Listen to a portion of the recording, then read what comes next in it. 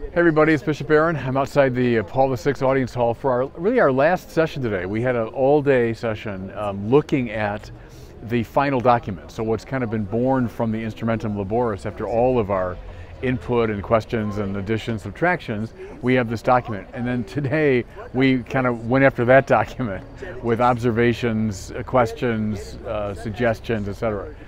Finally, on Saturday, we're going to be voting on it. So we'll, look at it paragraph by paragraph and we'll vote on it.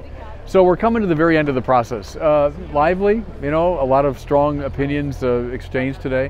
Um, but that's, you know, that's the church and it's a good thing. Um, so anyway, I've enjoyed this process. Uh, also glad it's coming to an end.